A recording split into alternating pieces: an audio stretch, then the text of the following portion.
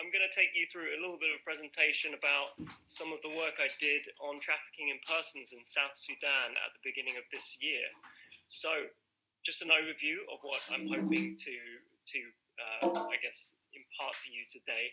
Uh, I'm going to start with a bit of an introduction into who I am and what I do. I'm going to take you through a little bit the national context of South Sudan because I think a lot of a lot of the nature of South Sudan is what informs how the trafficking in persons um, crimes take place in the country. Um, and then we're going to also look at try and try to draw some broader lessons about how to conduct research uh, into trafficking in a fragile state like South Sudan.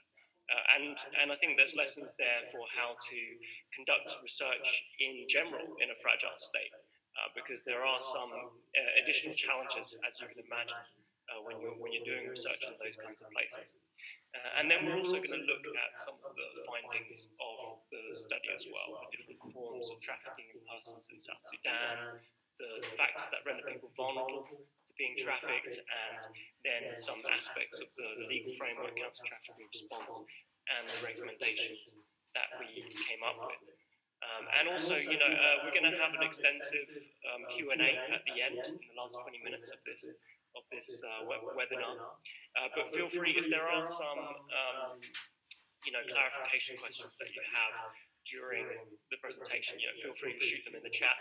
And, and I'm also going to be asking you some questions as well, and you, you can reply during you can re reply in the chat function too. Um, so so yeah, just have I guess. Um, you know, you can already start to think, you know, what, what do you know about South Sudan, and also, you know, how might that inform a methodology for any kind of study, particularly a study on migration or human trafficking in South Sudan. You know, try to already reflect on those points because they're going to be recurrent themes throughout this presentation. So, so just a quick introduction about, about myself. Um, so, you know, my name is Loksan, and I am an independent researcher, an independent consultant.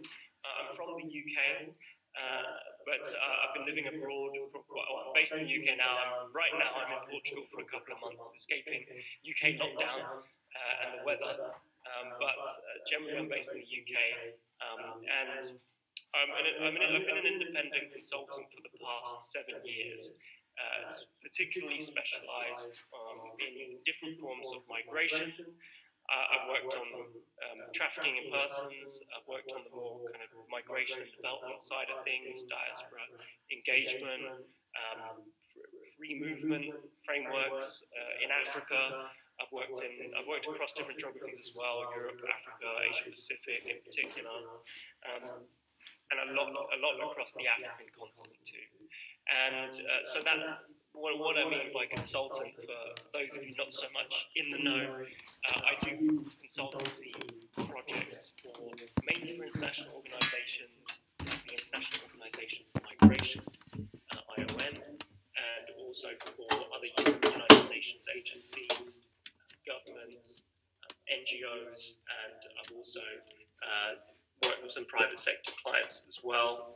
Uh, so, so that's kind of uh, my experience. And this, this is a, a picture. The picture that you can see here is um, from the South Sudan study. It was a little focus group that I did with some uh, women returnees, uh, re returnees from uh, a displacement camp in Uganda, uh, since this was at the southern border of South Sudan. and that was kind of one of the, the the research methods was doing focus groups with different um, members of the community to, to find out about um, the, the, potential trafficking issues. So, so that's about it in terms of uh, me. And, and yeah, so I, I, conducted this research in South Sudan for the International Organization for Migration. Uh, at the beginning of this year, it was a 60 day research consultancy. So uh, that, that's also, I think, another thing that is interesting for you folks to uh, pay attention to during this uh, talk as well. You know, what are the differences between research when you're an academic and uh, research when you are a consultant with X number of working days and a very specific time frame to, to complete the, the work. Um, it, it, does change the way you look at research and the way that you shape the methodology as well. Uh, so um, coming on to uh, the methodology, let me just quickly see.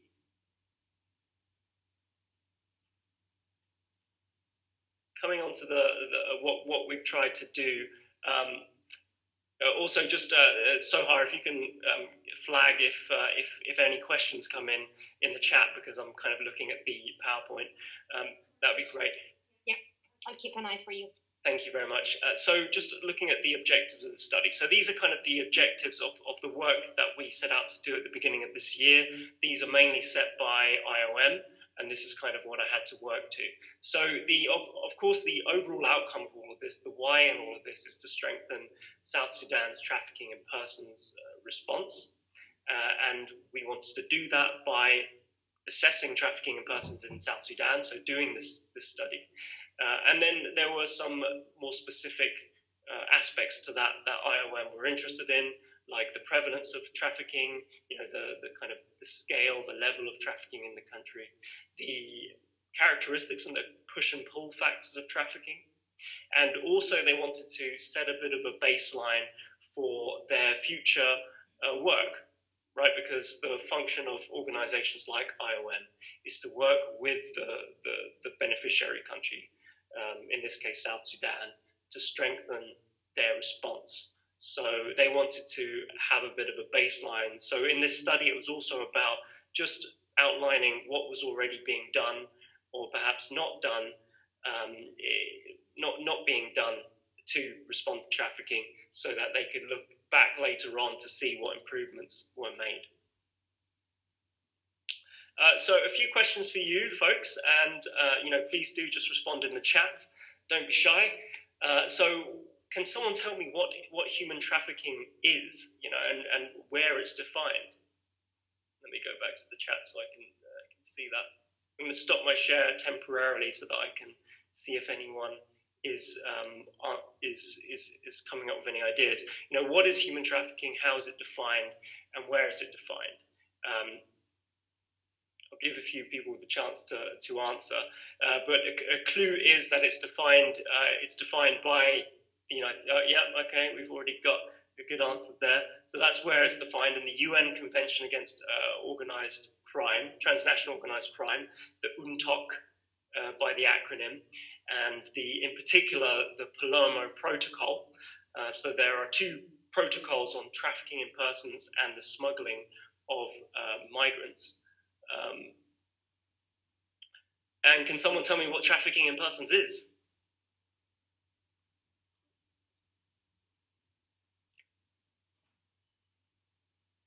Okay, well, I can uh, I can help you a little bit. Um, yeah, thank you. Uh, so, hi, yeah, smuggling can indeed turn to trafficking. And uh, one of my questions is also going to be the difference between smuggling and trafficking. So, um, but they are indeed uh, related as well. Uh, okay, so uh, I'll, I'll, give you the, the kind of answer um, as to what trafficking in persons is because of course if we're if I'm doing this whole session on trafficking persons in South Sudan, it'd be nice uh, if everyone knows what trafficking in persons is. So trafficking in persons, uh, I'm going to uh, one second. Trafficking in persons, the definition in that protocol on trafficking uh, comprises three aspects, three components. There are three components to trafficking in persons. One is an act, two is a means, and three is a purpose.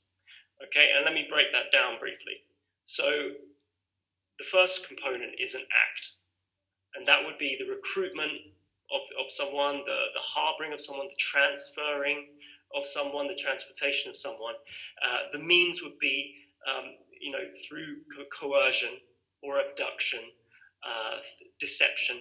So you're, you're kind of taking someone, you're recruiting someone or transferring someone using the means of, um, of, of, of deception or coercion for the purpose of exploitation. And uh, exploitation is one of those things which is a bit difficult to, uh, to define.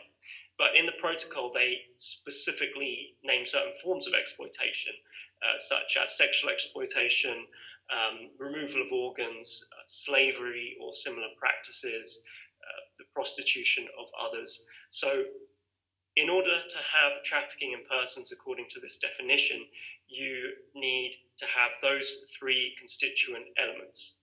The only caveat there is that if children are involved, then there doesn't need to be the means.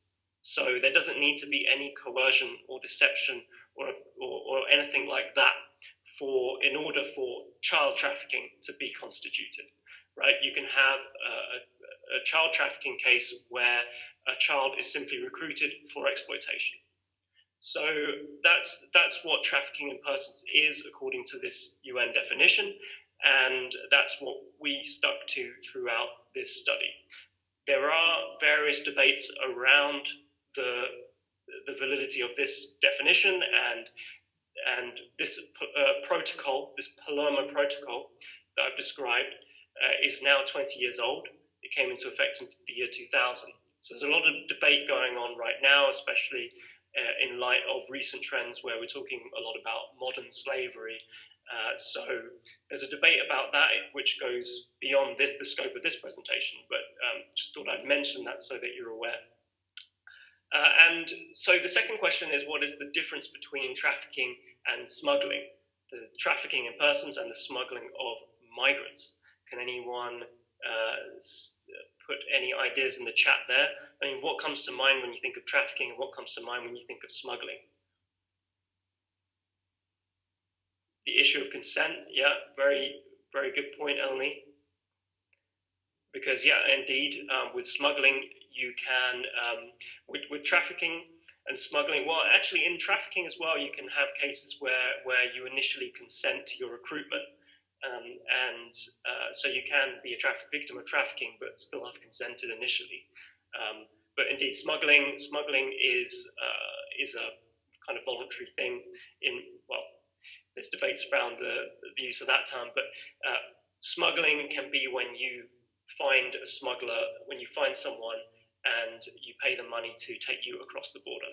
So, you know, a, a few differences between trafficking and smuggling.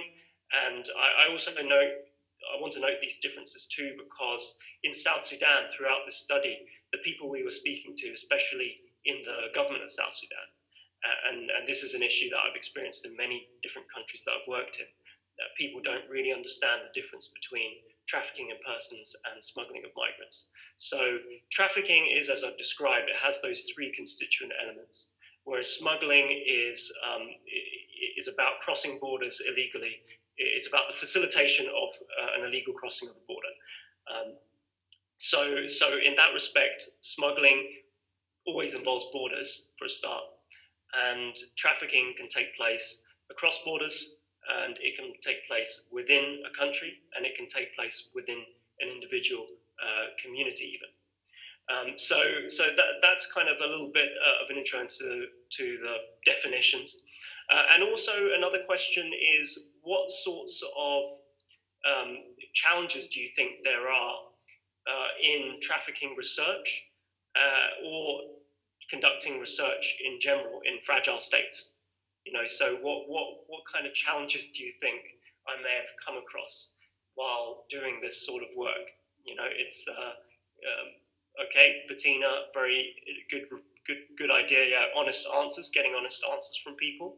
So um, yeah, it's uh, trafficking is is a sensitive topic, and uh, we're going to talk about how a lot of it is tied into cultural norms as well. So it can be difficult to, uh, first of all, people don't really know what trafficking is, so you have to elicit different responses from people. Um, and also, uh, yeah, people, people, it's, it's something which takes place in a, in a hidden way.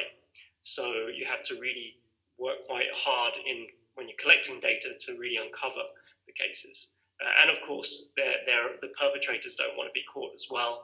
Um, victims of trafficking uh, don't want to face reprisals from their traffickers. So, so it can be very difficult. Um, what other ideas do we have here? Uh, this, yeah, safety, uh, yeah, um, distrust in local government, so people do not want to report it. Yep, so trafficking is very underreported. That's across the board, of course, and around the world, but particularly in places like uh, in fragile states where institutions are not built. There aren't really strong um, crime prevention, crime uh, law enforcement mechanisms. So people don't report their crimes, and part of that is also because if they do report their crimes, they don't they don't they go unpunished. They they go on an impunity. Uh, danger to yourself, both from traffickers. Uh, yeah, there, there, are especially in fragile states where the, the the line between law enforcers and law breakers can sometimes be very muddied, very grey, and there can be overlap. So a lot of vested interests uh, that that don't want to that don't want to be found out. Um, and victims not wanting to talk yet. That is a very important point uh, by Alessa there in the chat. Victims um, are hard to find and they're hard to, to talk directly to. And there are various do no harm principles which we have to adhere to um, in order to, uh, to collect data in an ethical way that doesn't um, render people, uh, you know, which doesn't cause too much trauma to, to people who have experienced so much trauma. Okay, so let's move on. I'm going to screen share again.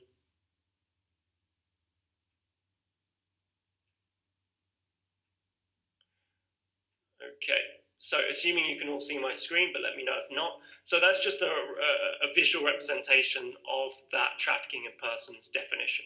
So you have this act, this means and a purpose. The act, the recruitment, the transport, the harboring of, the means using coercion or abduction, uh, abuse of power as well um, for the purpose of, of exploitation.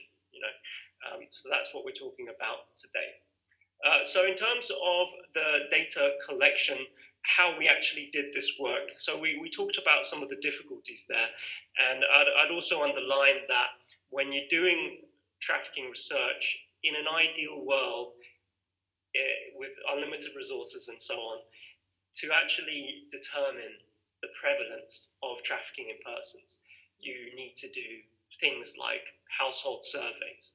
Um, and there, there's another kind of, um, uh, the name escapes the, the name escapes me, I think it's called multiple systems estimation or something. Um, in order to uh, to really kind of find out the prevalence of, of trafficking, you know, how many victims per, per X number of people of the population. Uh, as you can probably imagine, we, within the scope of a 60 uh, working day consultancy project, that's not very feasible.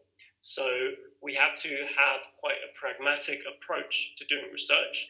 And what that boils down to in this case is doing the documentary review and then a stakeholder consultation. So, stakeholder consultation being uh, the, the key informant interviews, talking to people, the focus group discussions.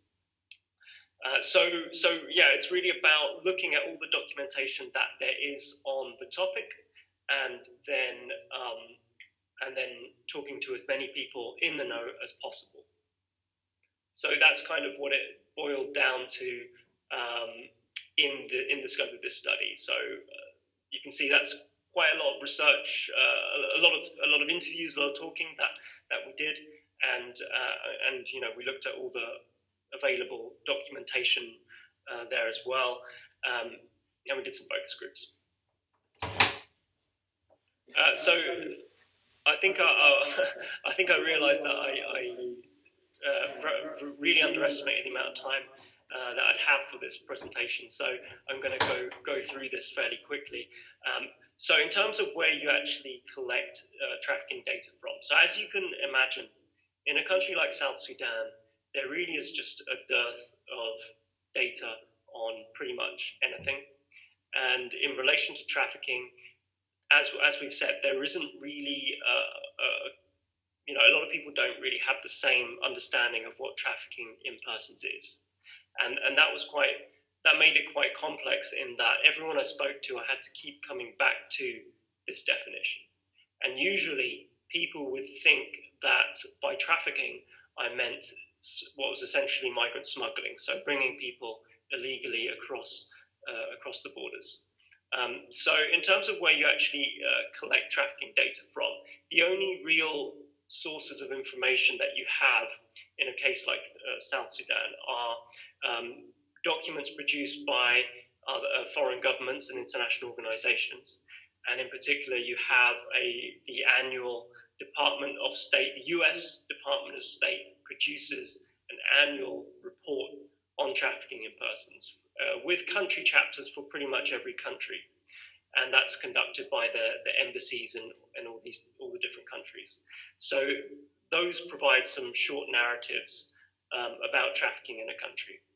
Uh, and for for this case, um, what, what, what you'll see in the findings, which I'll reveal to you in a moment, um, what you'll see as well is that in, in order for us to find out about trafficking, we had to look in spaces where we know exploitation takes place and where there is some data. And so, and that boils down to things like um, child protection issues, so child, looking at child protection issues more broadly, and in particular in South Sudan, as you can imagine, there's a lot of child protection issues associated with the conflict and the use of children in armed forces and groups. And uh, we also had to look at a lot of gender-based violence uh, issues, such as forced marriage. There is a bit of information on forced, early and forced marriage, and and also the use of women and girls in conflict as well, their exploitation there. Uh, so we had to really look in different areas where we know exploitation takes place, and then to look at where those cases of child exploitation or gender-based violence might then uh, uh, equate to trafficking in persons. Um, and then, you know, uh, we also looked a lot at forced displacement. You know, um, when people are forcibly moved, uh, displaced due to the conflict in particular, because when people are on the move and displaced, they tend to be uh, vulnerable to being exploited, including to being trafficked. Uh, just a quick question for everyone. You know, what kind of limitations do you think uh, we would face in this kind of uh, in this kind of research? Yeah, feel free to respond in the chat.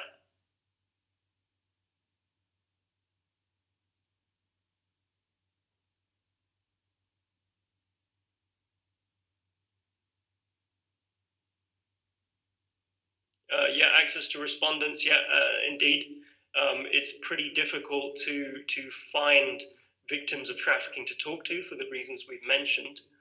Um, also, think about think about the the amount of time we have, and also the vastness of a country like South Sudan and the inaccessibility. What what kind of issues and challenges do you think that would um, lead to? Uh, okay, yeah, Talitha, very good point as well um, and Soha, yeah, about the local government and um, exactly, yeah. So the occurrence of trafficking in areas where there isn't existing knowledge and data.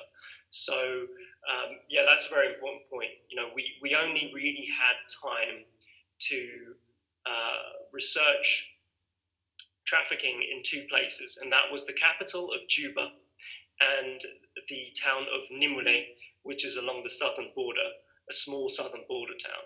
So, and those were both fairly, well, somewhat urban areas. Um, in a country like South Sudan, we're talking about a country in which outside the national capital, I think there is one or I think now two paved roads. So even to get to the southern border, we had to take a flight. Uh, you know, there's, there's cost in that, and and um, you know, going and and it's hard to get to different areas of the country. So we were only really able to do the study in two fairly urban areas in a country, a vast country, which is also vastly rural. So it was difficult to really get a representative sample there. Um,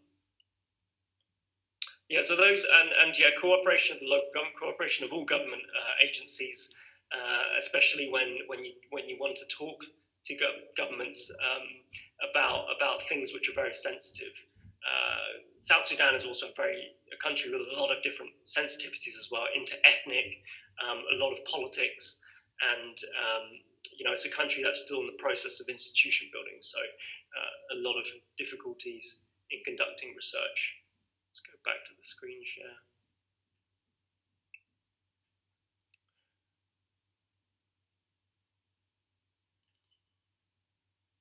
Okay, so in terms of stakeholders consulted, so we really tried to talk to everyone who might know stuff about trafficking. Uh, so uh, within the government, that was immigration, uh, Directorate of Public Prosecutions, uh, which you know is the the, the organ charged with uh, directing investigations, criminal investigations, and so on. Uh, ministries of gender, um, labor, labor inspectors, you know, to, to look at cases of labor exploitation.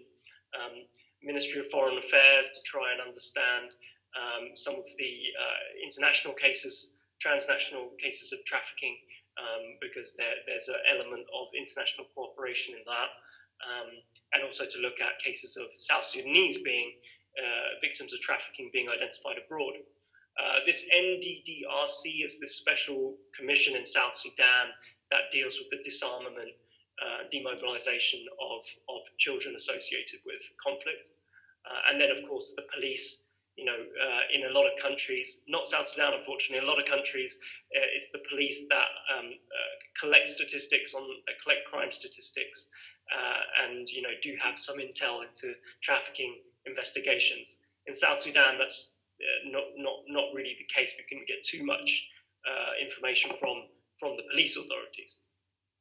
Uh, international organizations uh, have a lot of, you know, they're collecting information on areas of relevance to them. So once again, we had to look not directly at trafficking, but also but at spaces where we know trafficking exploitation takes place, like child protection, like gender-based violence. So we had to speak with all these acronyms here, which are, you know, United Nations agencies. You've probably heard of UNICEF, uh, United Nations Development Program the, the United Nations High Commissioner for Refugees. UNMISS is, a, is the kind of South Sudan mission. Um, so they're doing a lot on, uh, on, on peacekeeping and, and so on. Um, and we spoke to different embassies. And that was not only to get intel, because the U- US embassies uh, tend to, you know, since they're compiling this annual report, they tend to have a lot of good intel. But we also spoke with the embassies of uh, these different countries, uh, neighboring countries, because they deal with um, they provide support to uh, their nationals who have been exploited, including to trafficking victims, and including, you know, uh, the the repatriation of those victims and so on. And then we spoke to a lot of uh, civil society, and the, the idea here, uh, we, it was very difficult to really identify um, trafficking victims. Uh, even in other neighboring countries, it is possible to speak with shelters that that shelter victims of trafficking. Uh, but because of the very low awareness about trafficking in South Sudan, we really had to talk to uh, organizations that, uh, that support people who, are, who have been exploited. So we spoke with uh, organizations that shelter, that help disarm and demobilize, demobilize child, child soldiers. Um, we spoke with organizations that uh, support uh, former sex workers and victims of gender based violence. And so we tried to collect different stories from these different people, uh, people who work with uh, people who have been exploited. Uh, okay, and, and in Nimule, as I said, we did we did a we did these consultations, these in-field stakeholder interviews in um, in Juba at the national level, the capital, and then uh, Nimule as well, so a, a southern border town. Okay, so that kind of visualizes how we how we did this this research. You know, so it's really a case of uh, collecting the data through looking at all the documents uh, that that are related to trafficking in South Sudan, and then talking to as many people as possible uh, within the government, within international organizations and NGOs, and then taking that data that we collect and analyzing it with respect to these specific areas of interest for, excuse me, for IOM. So the we looked at the forms of trafficking, we looked at the, the drivers of trafficking and the, the factors that render people vulnerable to being trafficked. We looked at the legal and policy frameworks in place in South Sudan, and then we looked at how those frameworks are applied and how, how what systems and arrangements are currently in place or were currently not in place to address um, trafficking in persons. And then on that basis, we came up with some uh, key conclusions and recommendations. So uh, just um, going through this national context, uh, as as you can imagine, um, South Sudan has really been shaped by its experience with with, with conflict um, in, in recent years. Uh, it's a, it's a country that became independent um, in 2011, so it's a very young country, and then since 2013 as well, it fell back into conflict, and it's been in and out of conflict since, uh, and that has led to a lot of forced displacement of more than four million people in a country of of just over 10 million, uh, and which which, as you can imagine, is divided families. It means it, it's meant a lot of people moving on foot because, as I said, there's not many paved roads. Its infrastructure is very poorly developed, so people are literally uh, fleeing their homes on foot. Um, and as you can imagine as well, all of that creates ex- uh, spaces for exploitation, including uh, trafficking in persons. Um, and there's just been a whole host of human rights violations across the country. Uh, and then, um, you know, because of the conflict and, and other factors, and it's the, the, the youngness of the state, it's it's uh, it's got very weak institutions, weak law enforcement, weak criminal justice. Um, trafficking is underreported, uh, and and there's there's very few resources available to support victims of trafficking as well. Uh, and it, it, may come as a surprise to people. It certainly came as a surprise to me. But you know, when you think of a place like South Sudan, you don't think of it as a beacon of opportunity. But there are still people from uh, across across the world, and particularly from neighbouring countries, who still travel to South Sudan to take up employment opportunities. So that also shapes some of the trafficking issues that we found. You know, the fact that you do have uh, a lot of labour migrants from neighbouring countries coming in um, and then, in addition to that, you have you have um, a country with a like many African countries, it has a lot of different ethnic groups, and uh, those ethnic groups don't just stop at the borders of the country, the you know the colonial borders of the country, but they also uh, cross, they straddle. You have a lot of communities that straddle borders as well. So, like in many African countries, there are long-standing traditions of cross-border communities, cross-border living. Uh, and that means that some of these forms of trafficking that we found uh, also take place across borders. And you do also have some, um, some trafficking, uh, some transit migration that goes towards Europe. So you have migrants coming through, from Somalia or through, uh, from Eritrea, coming through Kenya, up, from, up through Uganda, uh, through South Sudan, and then northwards onto Europe and there are there are some smuggling and trafficking networks in place there, uh, which which in and in that context, we also came across a lot of stories of um, trafficking. You know, people being forcibly held in safe houses in Juba while waiting awaiting their onward journey. Um, and yeah, just this last point about conflict. You know, you have um, you have a lot of inter-ethnic conflict, inter-communal tensions, and uh, that has that has involved a lot of abduction. There's a lot of inter-ethnic abduction, and uh, and people are abducted for forced marriage or for forced, forced labor as well. Um, and that's a picture of the, the southern town of Nimule. That's the southern border with Uganda. I took this picture myself. Um, you can kind of see how informal it is in some ways.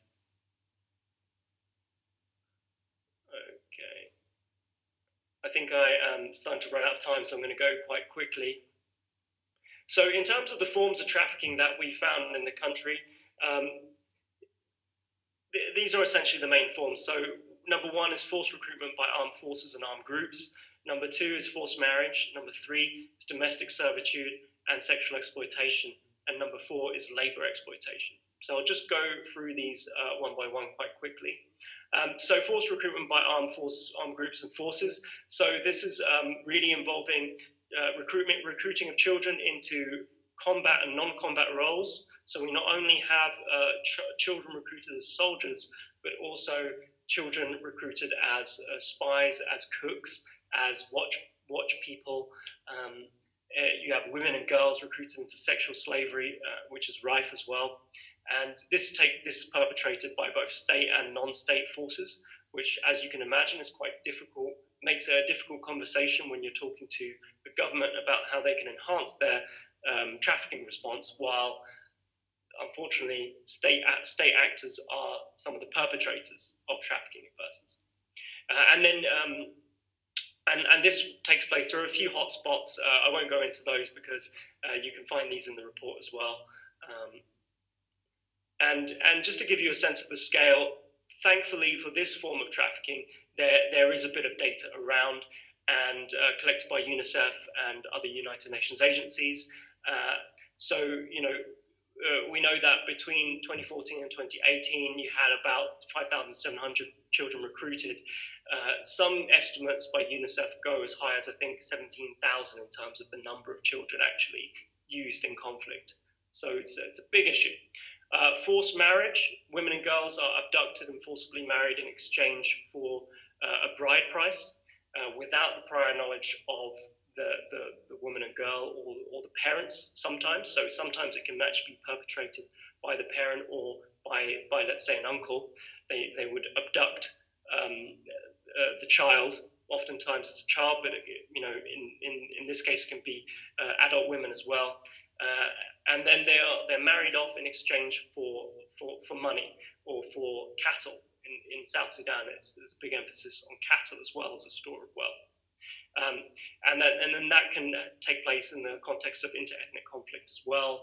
Um, it, it's a tricky one too because uh, you know how do you? There's some conceptual issues about how you define forced marriage because uh, you know to what it, how can you really gauge the agency of the of the woman or girl in in the situation. You know, that's quite difficult to um, to determine sometimes. Um, so, but forced marriage has taken place across the country, very very common. And and just as, uh, some representative quotes from the um, uh, some of the people we spoke with. You know, once the dowry is paid, there is no way you can say no. Um, you know, and then and then this third one, when someone forces a girl to marry in exchange for cows, is this trafficking? You know, um, those are the kind of questions we had from focus group participants because it's such a normalized um, act in, in, the country. Uh, so then third, we have domestic servitude and sexual exploitation. Women and girls and boys are deceived into migrating to pursue employment, and then they are then forced into domestic servitude or sexually exploited. Um, women and girls may be forced into servitude or sexually exploited and married off with no means of escape. And women and girls may be deceived into migrating within the country or internationally with the promise of decent employment, and then they end up as maids um, or, or, or, or, doing sex work. Um, and then fourthly, labour exploitation. Some of these, there are some overlaps, but the, the forms that we've defined here try to shine light on, I guess, specific issues that seem of most relevance to the, the, the local context. So labour exploitation, you have, um, you have a lot of migrant workers from neighboring countries, as I said, Ethiopia, Eritrea, and so on, coming to work in hotels in Juba and uh, or other cities, and they have their documents confiscated, and then they're subjected to pretty horrible conditions. Um, and, uh, and and then we have also some cases of children being forced to, to work in, in gold mining, other extractives, uh, trafficking cannabis, which also links back to some of the armed forces and groups and so on. Um, I'll just go a bit further into. So, in terms of the national uh, legal and policy framework, um, in South Sudan, they don't really have a uh, trafficking uh, law in place. Um, generally, trafficking is uh, uh, trafficking. The legislation surrounding trafficking can be found either there's trafficking specific trafficking law in some countries, or uh, there are provisions outlined in the penal code and various other legislation. In the case of South Sudan, there's some provisions in the penal code, the Child Act, and um, the Labour Act, which tries to um, outlaw certain forms of trafficking. But um, what, what we found is uh, that trafficking is just really poorly defined in the legal framework. So, in the legal framework of South Sudan, it just says that trafficking is uh, the bringing of someone across a border into southern into South Sudan for immoral purposes, uh, and it's not really defined what immoral purposes are. And um, in addition to that, the penalties are very lenient as well. So trafficking we found in South Sudan is poorly defined in the legal framework, and there are very lenient penalties. Uh, so as you can imagine, even if cases of trafficking were identified, which they rarely are, um, they are they go unpunished. So sorry to interrupt you, but we um, we're running out of time. The time okay. of the presentation is over, but perhaps you could have like a minute or two for some concluding remarks, and uh, then we could um, discuss more the, the like parts of the presentation in the discussion uh, for uh, during the 15 minutes. Absolutely, yeah. Uh, 40 minutes goes very quickly, I find. Yeah. Um, yeah, definitely want to come on to some questions. So I'm just going to conclude with uh, a kind of word on the counter trafficking arrangements in place. And when we talk about counter trafficking, we usually talk about the three P's or the four P's. So the prevention aspect, the protection aspect. So preventing how to prevent trafficking, uh, how to protect the victims of trafficking of persons, and how to prosecute the perpetrators of trafficking. Uh, and what we find in South Sudan is that um, trafficking is very rarely reported by the victims of trafficking. Uh, because of a lack of confidence in the institutions, because of the the, the way that a lot of trafficking victims are stigmatized for their, their own exploitation. Um, and then when it gets to law enforcement, uh, law enforcers are very poorly resourced, so they don't really have the, the resources to conduct investigations. And investigating trafficking is very difficult, even in, in very developed, high income countries like ours. Um, and then uh, there isn't really a proper criminal justice formal court system in place a lot of cases are dealt with by customary courts, which are heard by village elders, village chiefs, and don't really discharge um, justice in a way that can really support victims. Um, and then there aren't really any, there are very few recourses to um, protection. There's very little protection available as well for people who have been exploited and been trafficked. Uh, the little protection that's available is often provided by international agencies who, who can't help everyone. Um, so that's kind of uh, about it um, for now. Uh, and you can you can also just as a conclu- conclusion, or um, in case you want to know more, um, you can go to the. Uh, I can share with you the link to the full report, and also there's a summary report in case you don't want to read all of it, and uh, there's also a podcast episode as well. Um, uh, specifically on, on this study. So I can share those uh, links with you uh, in the chat. Anyway, uh, thank you very much for listening to the, the, the presentation, and I'd be very happy to field any questions. Thank you very much, uh, Loksan. This was very interesting and very beneficial. Um, so, so I don't take much uh, of the discussion time. Perhaps if someone has any questions, they could use the um, uh, raise the hand button, um, and then uh, and you could also write your question in the chat box if you would like to. Uh, go ahead, Talita. Hi, do you hear me okay? Yes. Thanks. Um, thank you, Loksan, for such an interesting presentation. Um, I was particularly intrigued by this idea of um, forced marriage as a um, as a kind of trafficking, and I wondered, and with regard to what you were saying about the difficulties in, in doing research in this area, particularly when people don't have a very good understanding of what trafficking is. So I was wondering how you approached that in your focus groups, where you are, when you tried to um, work with the, your your focus group participants to distinguish between maybe arranged marriages and and forced marriages and uh, as trafficking. So I wanted I wondered whether you could elaborate further on that.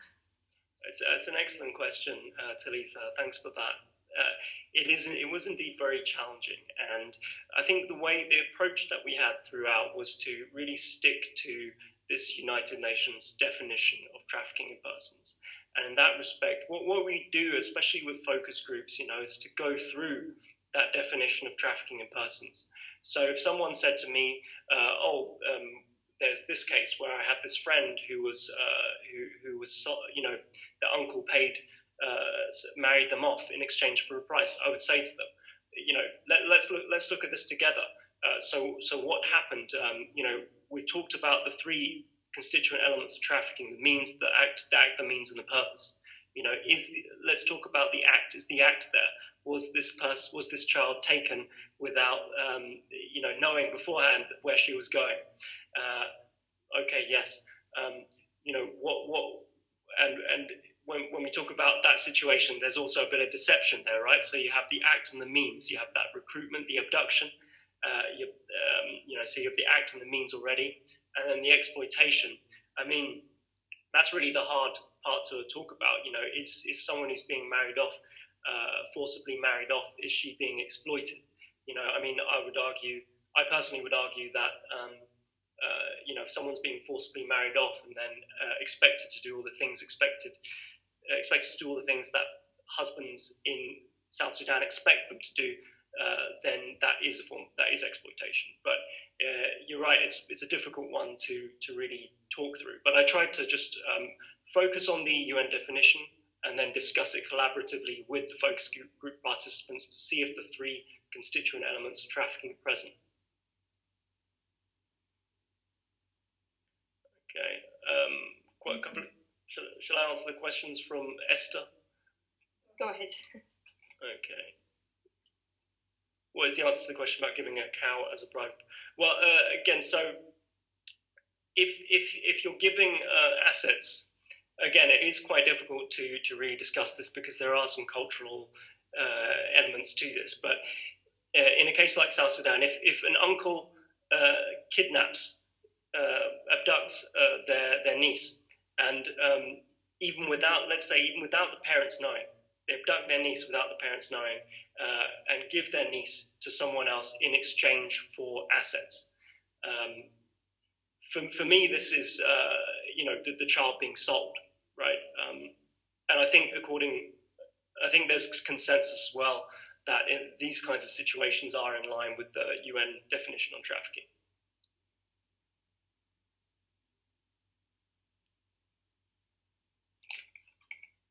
Any other questions? I have a question, but I can I can be the last one to ask if there are other. Yeah, uh, Virginia, you can go ahead uh, if you'd like to um, unmute yourself and ask the question. Hi, thank you for uh, speaking to us. I was wondering if you could speak a little bit about the prevalence of um, which one is more prevalent, rather, whether it's more prevalent for people to be trafficked within South Sudan or for people from South Sudan to be trafficked outside of the country. Uh, very, very question, Virginia. And I think it's important. It's a very important point as well because generally in South Sudan and in other countries that I've worked in, people tend to associate trafficking with, um, you know, like uh, international sex trafficking rings and things like that, which are important, of course. But uh, the vast majority of trafficking worldwide takes place within national borders, and that's definitely the case with South Sudan. So most trafficking in South Sudan takes place within South Sudan for sure. Um, yeah. Thank you. How do we ensure the safety, uh, my safety and the safety of the people that you've interviewed? Um, yeah, it's, that, I mean, we, we just try to err on the side of caution all the time. We, we um, tried to speak more with uh, those who had worked with victims of trafficking, so, you know, NGOs, um, uh, more than speaking with uh, directly with victims, especially because victims of trafficking are very hard to, to identify. And there are, there are, as I said at the beginning, various um, uh, ethical considerations around surrounding trafficking, uh, speaking with trafficking victims. Um, yeah, uh, there, there, is really no uh, easy answer to this though, except that you, you have to just kind of um, uh, work out your own level of risks. Um, obviously, working with IOM, IOM they, they risk assess everything, and and so uh, you know, every, all of my movements and everything were being managed by them and assessed, risk assessed by them. There were a few times, for instance, where I asked some difficult questions to, uh, to, to um, especially to military people, to, to security officials. Uh, South Sudan is very um, security intense country, so there are um, security officials, intelligence officials everywhere uh, and they're always looking on with suspicion. So, um, you know, there were probably cases where there was a, an element of risk, and um, but I just tried to manage it as best as, as best as I could. Thanks. Any other questions? Maybe I can ask that question. Oh, great! Yeah, please.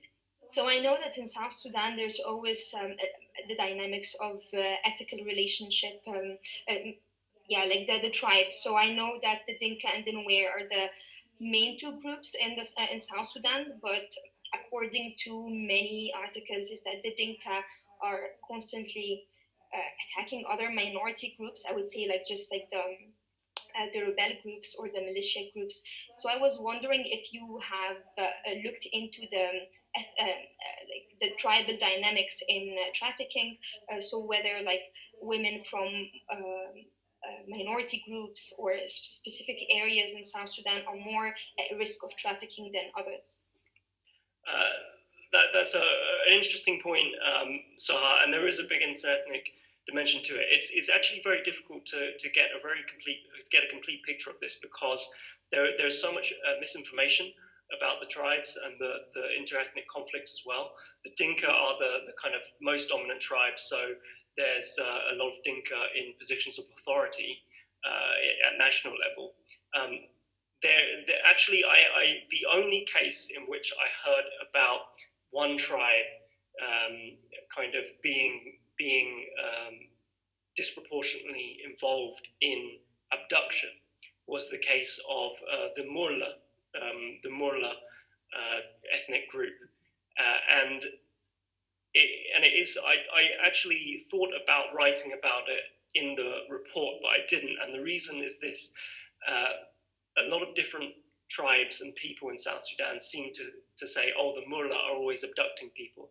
The Murle are just trying to make, uh, like the Murle, there's a belief that the Murle people have um, poor inf- have poor fertility, so they would abduct members of the other tribes to uh, boost their population numbers. But I, I, I, I had the sense that there wasn't really much data about it, that it was a lot of it came down to the kind of um, uh, ingrained uh, stereotypes um, about certain tribes. So for that reason, I didn't really uh, write about it. Um, but but yeah, I don't know. It's difficult. It's really difficult to tell if if there are um, if there's more trafficking being perpetrated by certain groups, which is why I kind of uh, stayed away from it. But there are certain. Uh, what I can say is that there are certain ethnicities that straddle borders. Um, so there are ethnicities that straddle Kenya, Ethiopia, Uganda, and so on. So trafficking can take place, especially when we talk about forced marriage. They can they can take place across the borders in those cases. Thank you very much. Um, I see a question from Dorothy.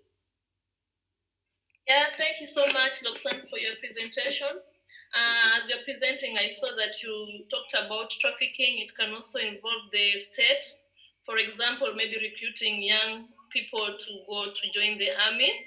And uh, maybe you're doing a research and you want to find out about this.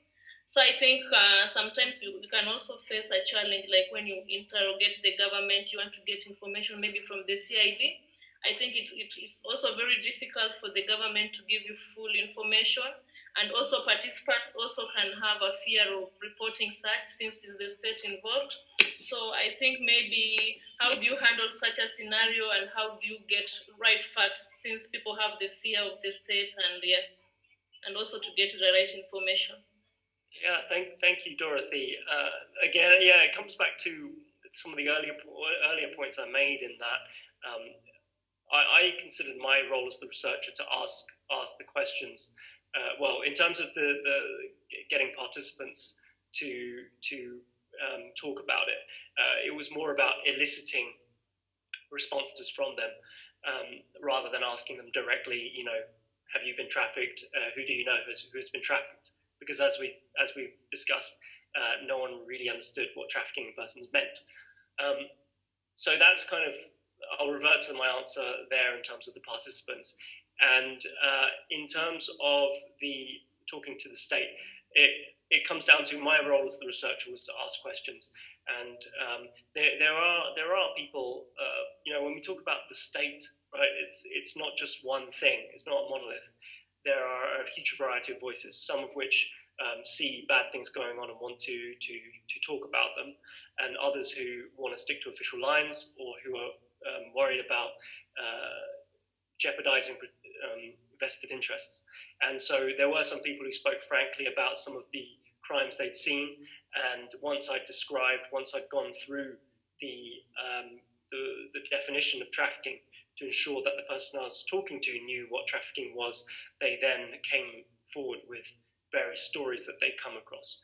Uh, a lot of this research was really about um, triangulating anecdotes, right? Listening to stories and working out what were the recurrent stories. It, it may seem a bit unscientific to, to researchers, to uh, academics like yourselves, and you know to, to any good researcher, but uh, that's kind of the pragmatic uh, methodological approach that we had to take.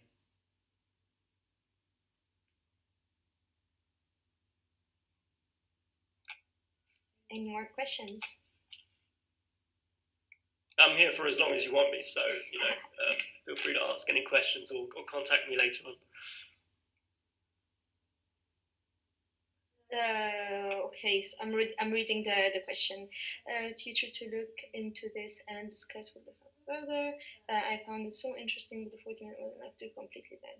Yeah, I, co- uh, I completely get that the 40 minutes um, are sometimes not enough, but most of the people that are attending are on a very tight schedule. So we try our best to uh, to host seminar um, seminars, migration seminars, and uh, to include uh, different topics and bring to the uh, institute uh, different researchers with very diverse background. But unfortunately, most people do not have more than one hour to. Um, nowadays, especially that everything is online. Um, but yeah, however, and, and also just to, just to add, the link to the podcast episode will allow you to listen to this for a full hour if you want to know more. And and obviously, as as I said earlier, you're, you're welcome to to get in touch if you have uh, more questions. Um, I, I, I don't see um uh, Alisar's question, but or are you oh, sorry? Oh, um, ah. did I observe any improvement? Uh, so, uh, presumably, you mean in, in terms of the trafficking response in South Sudan. And so, uh, I would definitely have liked to have talked about that a bit more, but, but obviously, we are limited by our time. But, um, uh, you know, it's, it's early days. Um, so, I just did this trafficking study. This was just published a few months ago.